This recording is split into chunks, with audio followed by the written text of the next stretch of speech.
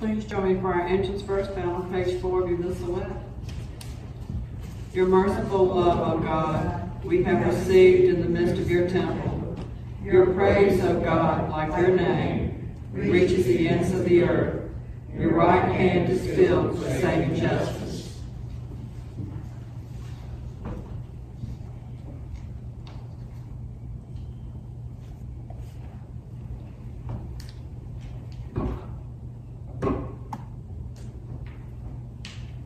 In the name of the Father, and of the Son, and of the Holy Spirit. Amen. The grace of our Lord Jesus Christ, the love of God, and the communion of the Holy Spirit be with you all. And with your spirit. Brothers and sisters, let us acknowledge our sins and so prepare ourselves to celebrate the sacred mysteries. I confess to Almighty God and to you, my brothers and sisters, that I have greatly sinned in my thoughts and in my words, in what I have done and in what I have failed to do. Through my fault, through my fault, through my most grievous fault. Therefore I ask Blessed Mary, ever Virgin, all the angels and saints, my brothers and sisters, to pray for me to the Lord our God. May Almighty God have mercy on us, forgive us our sins, and bring us to everlasting life. Amen. Lord, have mercy. Lord, have mercy. Christ, have mercy. Christ, have mercy. Lord, have mercy. Lord, have mercy. Glory to God in the highest, and on earth peace to people of good will. We praise you, we bless you, we adore you, we glorify you. We give you thanks for your great glory. Lord God, heavenly King, O God, Almighty Father, Lord Jesus Christ, only begotten Son, Lord God, Lamb of God, Son of the Father, you take away the sins of the world, have mercy on us. You take away the sins of the world, receive our prayer. You are seated at the right hand of the Father, have mercy on us. For you alone are the Holy One. You alone are the Lord. You alone are the Most High, Jesus Christ, with the Holy Spirit, in the glory of God the Father. Amen. Let us pray. O God, who in the abasement of your Son have raised up a fallen world, fill your faithful with holy joy. For on those you have rescued from slavery to sin, you bestow eternal gladness. Through our Lord Jesus Christ, your Son, who lives and reigns with you in the unity of the Holy Spirit, God forever and ever. Amen.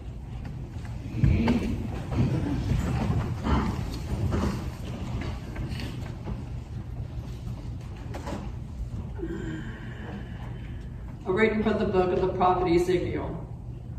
As the Lord spoke to me, the Spirit entered into me and set me on my feet. And I heard one, and I heard the one who was speaking to me say, Son of man, I am sending you to the Israelites, rebels who have rebelled against me. They and their ancestors have revolted against me to this very day. Hard of face and obstinate of heart are they to whom I am sending you. But you shall say to them, Thus says the Lord God, and whether they heed or resist, for they are a rebellious house, they shall know that a prophet has been among them. The word of the Lord. Responsorial psalm. Our eyes are fixed on the Lord, pleading for his mercy. Our eyes are fixed on the Lord, pleading for his mercy. To you I lift up my eyes who are enthroned in heaven, as the eyes of the servants are on the hands of their masters. Our eyes are fixed on the Lord, pleading for his mercy.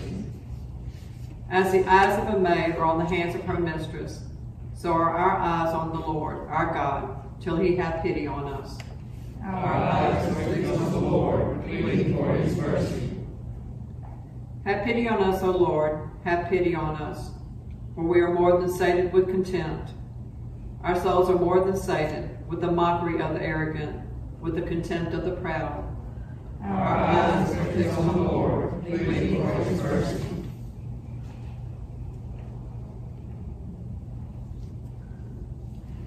A reading from the second letter of St. Paul to the Corinthians.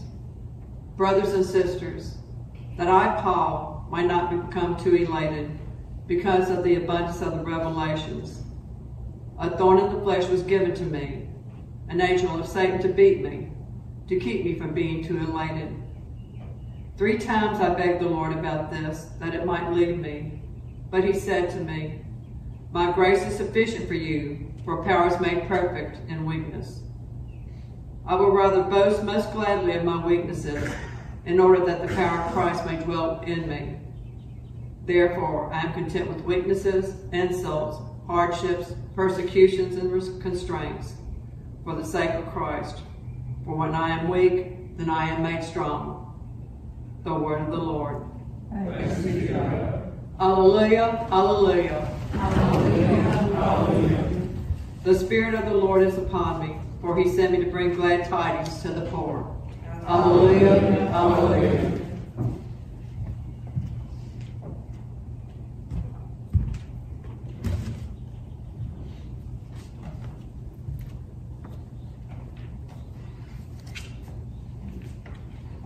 The Lord be with you. And with A reading from the Holy Gospel according to Mark.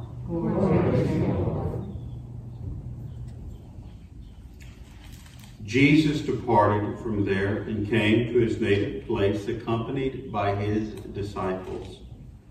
When the Sabbath came, he began to teach in the synagogue, and many who heard him were astonished.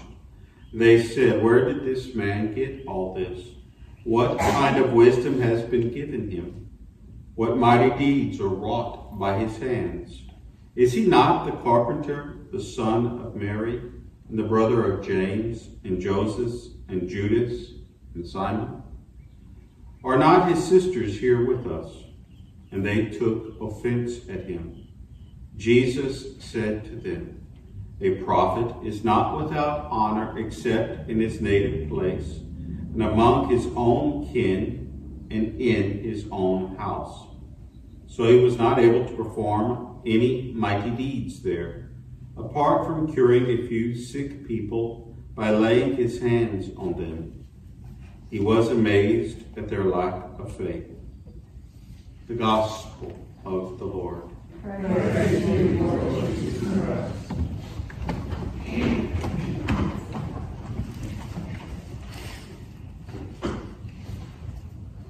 Good morning. Good morning. In our first reading this morning, you heard how God announced through the prophet that the people had been a rebellious lot. And he said they've always been a rebellious lot. And today I'd like to look at that and pick up where we left off. Now, this is a, a, a theme that I really want to pursue over the next couple of weeks. So uh, Deacon Groves won't be preaching next week. I'll, he'll preach sometime later, and he'll probably preach multiple weeks in a row to let him catch up. But uh, I really I want to focus on this thought because what happens at the foot of Mount Sinai is extremely important. When we left off last weekend, I had explained about this liturgy that they had, a sacrifice, and how we witnessed one very similar, but in our understanding, a more full sacrifice. It's, it's a sacrifice involving Jesus himself is both the one offering and the one being sacrificed. Well, after that took place, Moses ascended back up to Mount Sinai. It is there with God and it says he stays 40 days and 40 nights. it's a it's that's a biblical term to say a long time. And while he is up on the mountain for a long time, the people become restless. They want a God that they can follow. So they go to his brother Aaron and say, Make us a God that we can follow. Of which remember he gives them, he asks for all their gold and precious uh, stones, and they construct the golden calf. And I, I find there's one particular that I don't know if you really ever caught it. I think it's one of the funniest lines in all of Scripture. Is when Moses comes down and he confronts Aaron about the golden calf. Aaron's response is, You know, we just took all this gold, we threw it into the fire, and look what popped out. Amazing. You know, I, God, I feel like that's on one of those, uh, was it those commercials that sell us the products on TV? Amazing. Look at what it can do. Yeah, no, no, it doesn't work that way. And Moses has them deconstruct the golden bull, spread the golden flakes over the water, and have the people drink the water. To really solidify all of that is waste. It's waste. Now, I recently read an article by a minister, and the minister was harking back to his youth, in which he said that one of his teachers, a professor at a, either a high school or a college he went to, had told him about societal changes, and that when a society changes, these changes can be drastic. And the longer it takes for society to change, the longer the more drastic is the change. And he said about how when a society changes, there are a lot of people that want to live in an imagined past. They want to go back to the imagined past. But as he said, life does not live in reverse. It's always moved forward, and let's move forward. I thought, well, that's uh, that's all well and good. I think we can all agree life moves forward. It doesn't live in reverse. You can't go back. H.G. Wells' Time Machine is just a book, great book, but it's still just a book. All of that is in the past. You know, there's no way to go back. But there is an underlying thing there that we have to explore when the children of Israel wanted the calf, wanted something that they could worship, Aaron and those artisans with Aaron created the golden calf, very much like uh, the god of uh, vitality that they would have had in Egypt. So, very much. Now, this is the first generation. So, was this first generation looking for an imagined past that they could go, oh, how great it was. The only time they do that in the entire Exodus is when it comes to their bellies.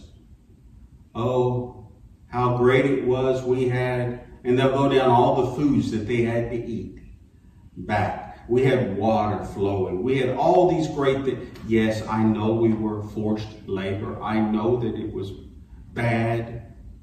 Our kids were being thrown into the river, the first male, the males, but boy, our bellies were full.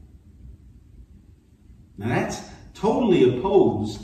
Uh, it's a different idea than going to an imagined past. And I thought to myself, there's something odd about that statement. And it hit me like a ton of uh, lead it's really, a statement like that is directed toward you and I. Not them, you and I. And I'll give you an example. We've started here, if you remember the Latin Mass, pre-Vatican II. You'll see here, we have ladies who are wearing the man, mantilla, the old chapel veils, again.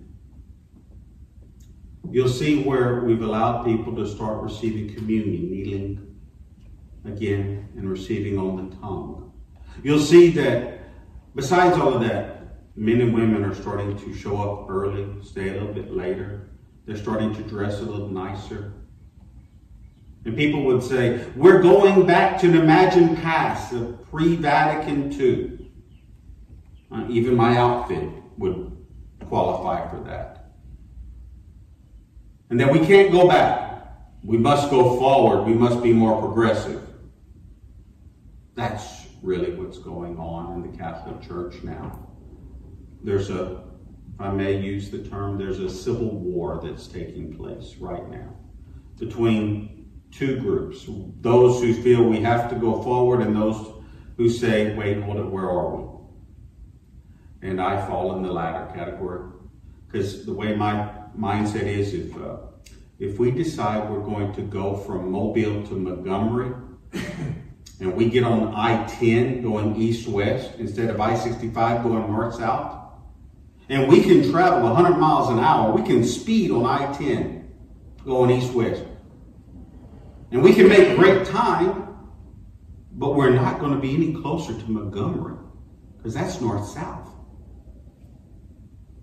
So why don't we, if we really want to be progressive, if we really want to be the most progressive, why don't we go back to figure out where we went wrong? Maybe we took the wrong road to begin with. And we need to go the other way. So that's my mentality. And I look at this and I say, why? If we stop and put ourselves back into that mentality at the base of Sinai, what got the people in trouble? They're bored. They're restless. What they're living at that moment is no longer speaking to them here in their heart. And they're looking for something. And you see that today with people who are fluctuating between various denominations, various philosophies in life. People are looking for something. Something that will speak to them where they're at. Something different. But what have we done? We're all becoming the same. You ever notice you go to some of these mega churches, or if not, watch them on the television. If not, watch them on YouTube. Tell me, what differentiates them? It's pretty much the same setup in most places. What separates them in the music? Pretty much they're all singing the same songs, and those songs sound just like you would hear on an easy top 40 listening thing. Where are the hymns that told a story like Faith of Our Fathers? Or even if you would translate Tantum Ergo into the English, at least told a story, a theology of God. And we find that we're doing that again. We're starting to subtly pick up more modern cultural ideologies, thinking that if we just adhere, if we make it more exciting, more something that you are familiar with, then that will speak to you. Maybe it doesn't. Maybe what we need, and what Israel needed at that time, was a newer version of worship. And that newer version was to reconnect with their religious identity that they've always held. Meaning children of God, followers of God, not followers of all the other various gods of the various nations, followers of God in their unique individual ways, being children of Abraham. And holding fast and true to that. And you'll see that as they progress, that is going to be the thing that'll keep them most in line. Whenever Israel, from this moment on, and God is going to set it up, I'll explain it to you next week how He does. But from that moment, whenever they hold on to their identity the strongest is when they are doing the best as a people, as a nation. It's when they stop when they decide to be like everybody else around them, that's when they fall the most. And despite all of that, despite what happens here at Sinai, when they fall into apostasy, idolatry, despite what will happen as they proceed further, and the many, many times in their history they're going to fall away, despite all of that, God will still bless them as God still blesses us, despite the many times we, like them, fall away. God doesn't bless us and love us because we never failed, because we're perfect in every way. He loves us despite the fact that we fall, despite the fact that they committed idolatry and apostasy, despite the fact that we go our own separate ways. We're no different from Adam and Eve. We want it our way. I gotta feel like a Burger King ad. but besides all of that, God still blesses us, still loves us. So that's the thing I want you to reflect upon in this coming week is what can we do to tap in again into our religious identity as Catholics? And what can we do, even if it means a little extra sacrifice, to help remind us of God's blessings every day? And of our need to respond to his blessings by treating both him, our neighbors, and ourselves with love and compassion. May Almighty God be with you. May he bless you. The Father, the Son, the Holy Spirit. Amen.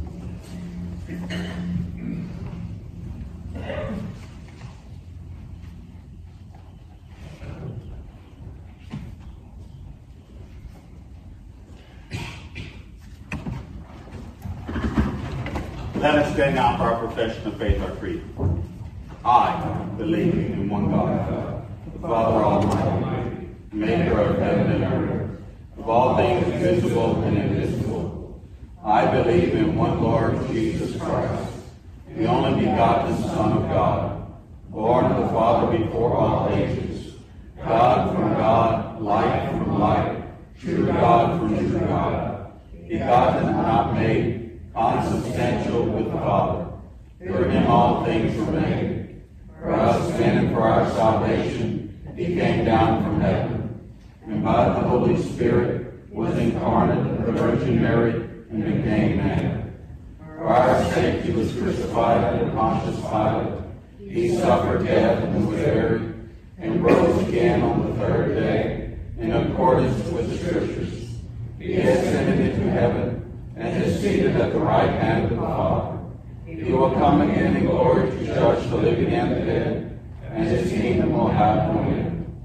I believe in the Holy Spirit, the Lord, the giver of life, who proceeds from the Father and the Son, who with the Father and the Son is adored and glorified, who has spoken through the prophets. I believe in one holy Catholic and apostolic church. I confess one baptism for the forgiveness of sins, and I look forward to the resurrection of the dead and the life of the world to come. Amen. Coming together as one family in faith, let us offer to God our prayers and our needs. For all who have vowed themselves to God, that with His help they may faithfully keep to their resolve, let us pray to the Lord. Lord, hear our prayer. For peace among nations, that delivered from all turmoil, the peoples may serve God in freedom of heart. Let us pray to the Lord. For the elderly who suffer from isolation or sickness, that they may be strengthened by our love of them as brothers and sisters. Let us pray to the Lord. For all of us gathered in the sacred place by faith and devotion, and by love and reverence for God, let us pray to the Lord. Lord, for ourselves gathered here, that as God does not cease to sustain us with the things of this life, we may know how to use them in such a way that they may hold even now to the things that endure forever. Let us pray to the Lord. Lord for all the prayers we hold in the silence of our hearts, for all our intentions spoken and unspoken through the intercession of St. Thomas the Apostle, let us pray to the Lord. Lord. And let us pray for you. Our parishioners from St. Thomas and St. Bridget's, you who are here today, and those who will watch on video, for all of you and for your needs, this Mass is being offered today. We pray to the Lord. Lord, prayer. Offering all our prayers to the Father, let us conclude with a prayer of praise and honor for the Blessed Trinity. Glory be to the Father, and to the Son, and to the Holy Spirit, as it was in the beginning, is now, and ever shall be, world without end. Amen.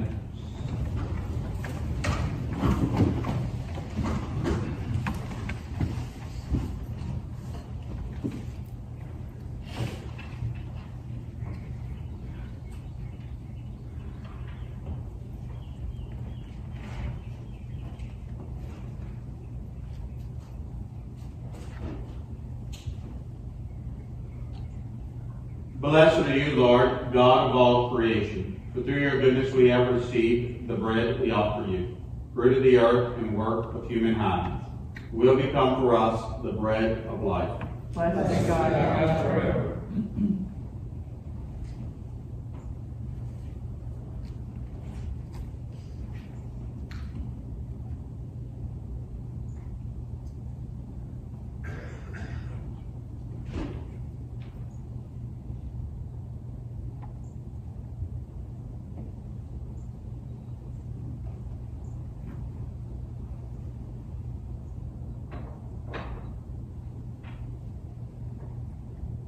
Blessed are you, Lord, God of all creation. Through your goodness we the wine we offer you. Fruit of the vine and work of human hands, it will become our spiritual drink.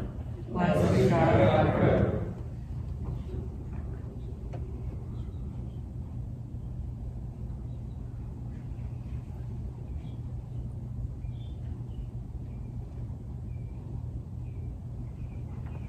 Pray, brothers and sisters, that my sacrifice and yours may be acceptable to God, the Almighty Father. May the Lord set sacrifice in your hands for the praise and glory of his name, for our good and good of all his holy church.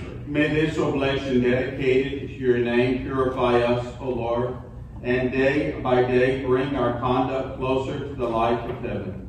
Through Christ our Lord. Amen. The Lord be with you. And with Lift up your hearts. up. Let us give thanks to the Lord our God. It is right and just. It is truly right and just, our duty and our salvation, always and everywhere to give you thanks, Lord, Holy Father, Almighty and eternal God. For in you we live and move and have our being. And while in this body, we not only experience the daily effects of your care, but even now possess the pledge of life eternal. For having received the first fruits of the Spirit, through whom you raised up Jesus from the dead, we hope for an everlasting share in the gospel mystery. And so with all the angels we praise you, as in joyful celebration we acclaim. Holy, holy, holy Lord, God earth. Hosanna in the highest. Blessed he who comes in the name of the Lord. Hosanna in the highest. You are indeed holy, O Lord, and all you have created rightly gives you praise. For through your Son, our Lord Jesus Christ, by the power and working of the Holy Spirit, you give life to all things and make them holy. And you never cease to gather a people to yourself, so that from the rising of the sun to its setting, a pure sacrifice may be offered to your name.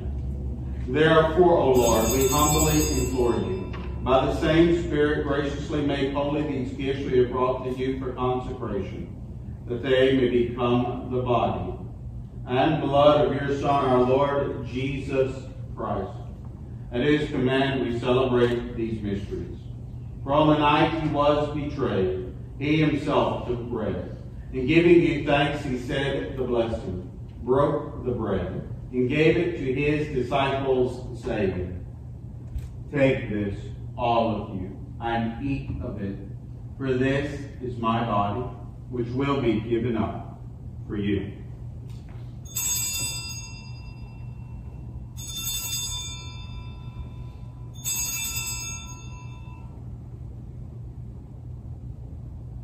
In a similar way, when supper was ended, he took the chalice. In giving you thanks, he said the blessing, and gave the chalice to his disciples, saying, Take this, all of you, and drink from it. For this is the chalice of my blood, the blood of the new and eternal covenant, which will be poured out for you and for many for the forgiveness of sins. Do this in memory of me.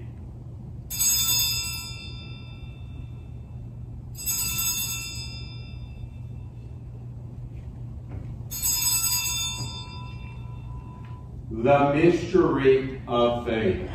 We proclaim your death, O Lord, and profess your resurrection until Therefore, O Lord, as we celebrate the memorial of the saving passion of your Son, his wondrous resurrection, and ascension into heaven, and as we look forward to his second coming, we offer you in thanksgiving this holy and living sacrifice. Look, we pray upon the oblation of your church, and recognizing the sacrificial victim by whose death you willed to reconcile us to yourself. Grant that we who are nourished by the body and blood of your Son, and filled with his Holy Spirit, may become one body, one spirit in Christ. May make of us an eternal offering to you, so that we may obtain an inheritance with your elect, especially with the most blessed Virgin Mary, Mother of God and blessed Joseph, her spouse, with your blessed apostles and glorious martyrs, with St. Thomas, St. Bridget, and with all the saints on whose constant intercession in your presence we rely for unfailing help. May this sacrifice of our reconciliation, we pray, O Lord, advance the peace and salvation of all the world. Be pleased to confirm in faith and charity your pilgrim church on earth, with your servant Francis, our Pope, and Thomas, our Bishop the order of bishops, all the clergy, and the entire people you have gained for your own. Listen graciously to the prayers of this family, whom you have summoned before you. In your compassionate, merciful Father, gather to yourself all your children scattered throughout the world.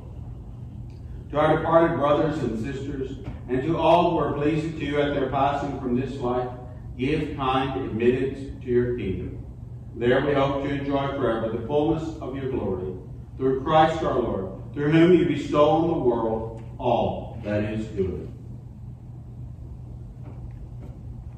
Through him, and with him, and in him, O God, Almighty Father, in the unity of the Holy Spirit, all glory and honor is yours forever and ever. Amen. At the Savior's command, informed by divine teaching, we dare to say, Our Father, who art in heaven, hallowed be thy name. Thy kingdom come, thy will be done, on earth as it is in heaven. Give us this day our daily bread, and forgive us our trespasses, as we forgive those who trespass against us. And lead us not into temptation, but deliver us from evil. Deliver us, Lord, we pray, from every evil, graciously grant peace in our days. That by the help of your mercy we may be always free from sin and safe from all distress. So we await the blessed hope and the coming of our Savior, Jesus Christ. For the kingdom, the power, and the glory of yours now and forever. Lord Jesus Christ, who said to your apostles, Peace I leave you, my peace I give you. Look not on our sins, but on the faith of your church and graciously grant your peace and unity in accordance with your will, who live and reign forever and ever. Amen. The peace of the Lord be with you always. And with your spirit. Lamb of God. You take away the sins of the world. Have mercy on us. Lamb of God. You take away the sins of the world. Have mercy on us. Lamb of God.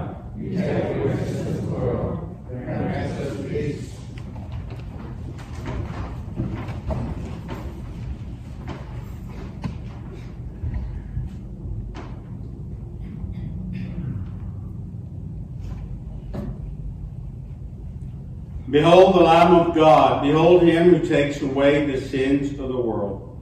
Blessed are those called to the supper of the Lamb. But only say the word, and my soul shall be healed.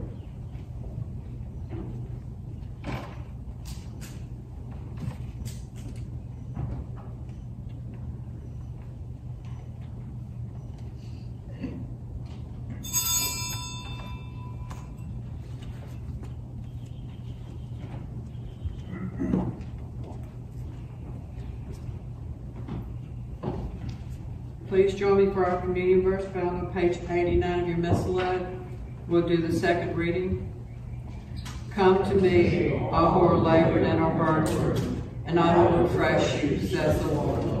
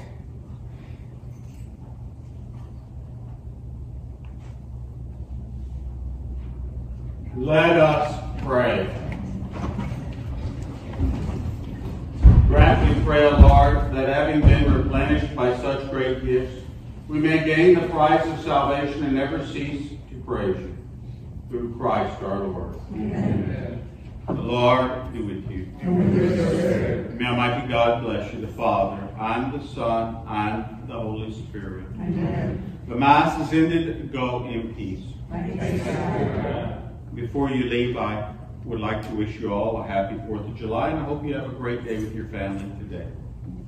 Thank you. Thank you. Prayer to St. Michael for our families. Holy Michael, our archangel, defend us in battle. Be our protection against the wickedness and snares of the devil. May God rebuke him we humbly pray.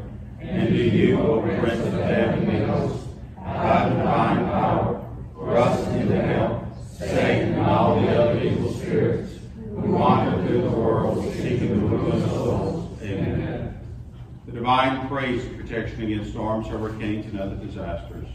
Blessed be God. Blessed be his name. Blessed be Jesus Christ, your God and your man. Blessed be the name of Jesus. Blessed be his most sacred heart. Blessed be his most precious blood. Blessed be Jesus, the most holy sacrament of the altar. Blessed be the Holy Spirit that consoler. Blessed be the great Mother of God, Mary most holy. Blessed be our holy and immaculate conception. Blessed be our glorious assumption. Blessed be the name of Mary, our Virgin Mother. Blessed be Saint Joseph, most holy spouse. Blessed